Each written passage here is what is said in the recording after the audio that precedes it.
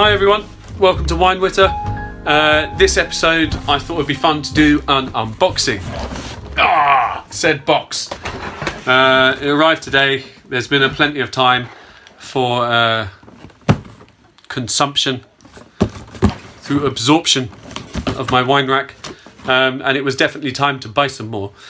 Uh, so what I thought I'd do uh, for some of these videos on the series is unboxings of wines that I regularly get, other ones that uh, are things I haven't bought before.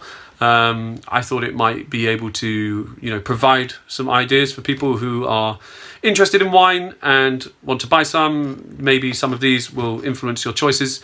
And also, the ones that I haven't got before will be a good opportunity to talk about on camera uh, uh, why I've bought them. So that's what we're going to do. I have been watching a lot of Mr. James Suckling recently. Um, I mean, I've followed him for years, but uh, he does these videos. Uh, the one, the one I'm hooked on at the moment is he does this series, um, the James Suckling Challenge, uh, where he goes to wine wholesalers in America. It's, it's the only country I can suffice that he's doing it in at the moment is his home country, um, especially in California and giving them a challenge of give me 90 plus rated wines, uh, five of them normally, um, you know, and to, to see if, if James Suckling will agree or not. So he goes and he goes, yes, yes, that's 90, or yeah, I'll give you 91 on that, I'm 91. Or sometimes he goes, yeah, I'm 92 on that one because it's just delicious. So for him, and, and for a lot of uh, wine experts, 90 represents a mark of outstanding level. So, uh, you know, a remarkable wine. Anything that's kind of 94, 95 upwards is is like classic, classic vintage and gets, you know, the big gold stamp. Um, but 90 is a, is a mark of excellence. And then sort of 86 to, to 89 is kind of very, very good. Um, anything below 86 is kind of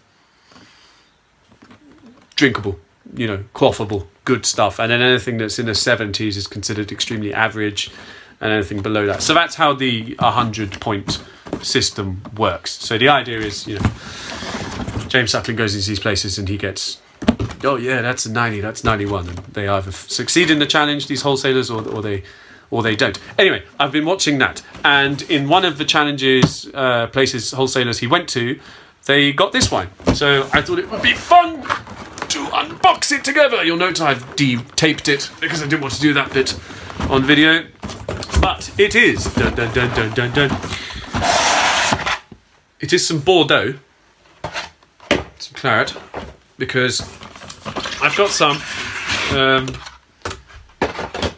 but I haven't got any Haut-Medoc.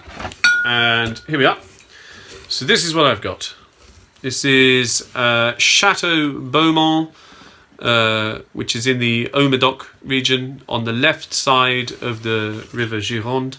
So Haut-Medoc is just beneath Medoc and to the southern tip of Haut-Medoc is the actual city of Bordeaux sort of. And then on the east side of the river, you've got things like Saint-Emilion, Pomerol, Lalande de Pomerol, uh,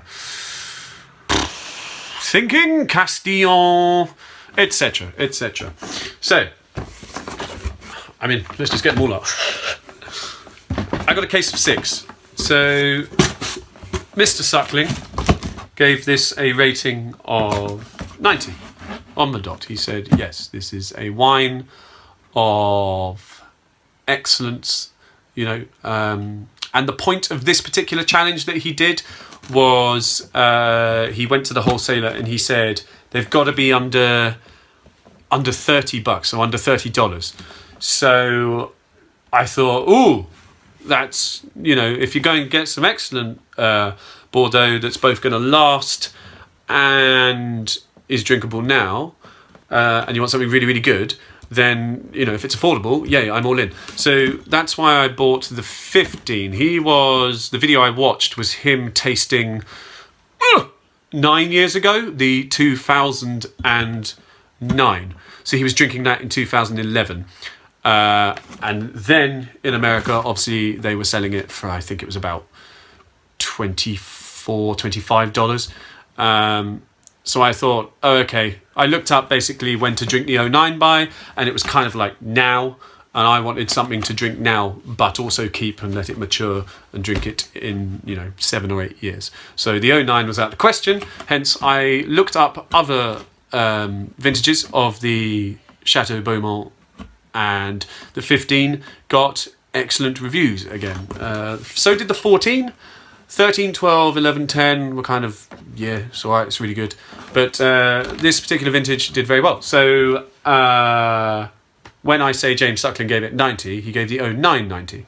But, you know, always check before you buy. I had a look at reviews of this wine and he gave this one a 90.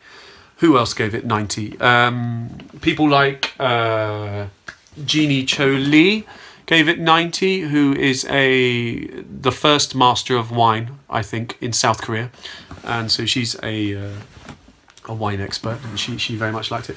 Other people who liked it, I'm going to have a look at my computer here, were uh, Antonio Galloni, who is an Italian wine expert and sort of set up his own kind of um, website in 2013. Uh, and also Wine Enthusiast, uh, a popular subscription uh, for many people gave it 92 so um, it's very popular clearly. Uh, and then there were some other reviewers who gave it 89 so you know some of them weren't blown away but thought it was very good. Uh, so I got this for 20 pounds a bottle. And that was the sort of best price I could get it for in the UK I got it from let me show you the box. They're called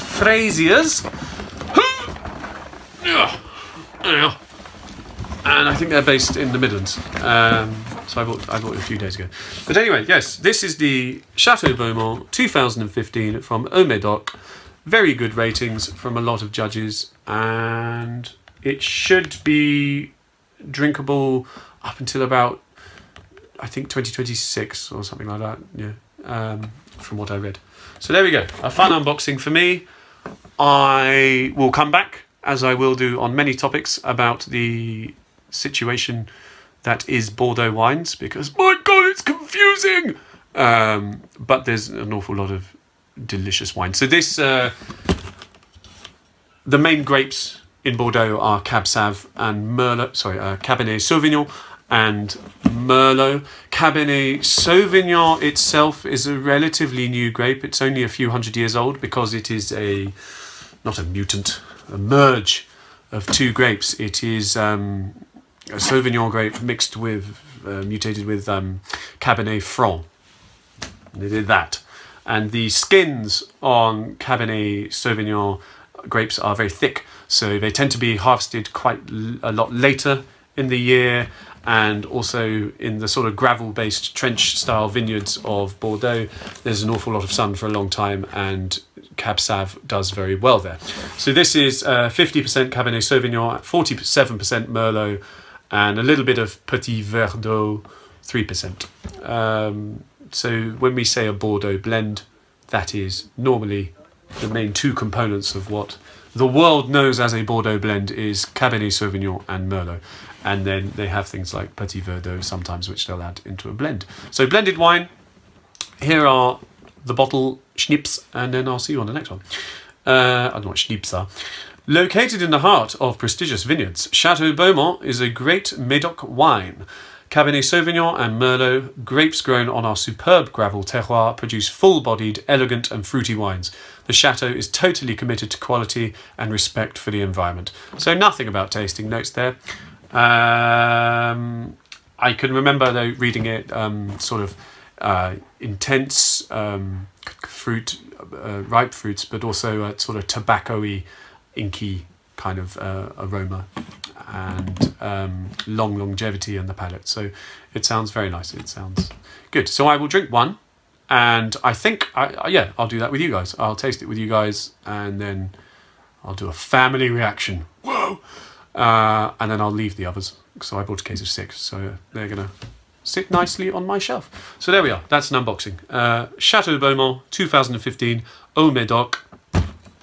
great reviews. See ya.